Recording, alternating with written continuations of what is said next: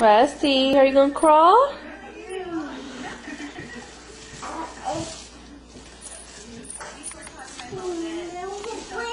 Why? We're gonna put it in the shed. Why? Why? He doesn't use it anymore.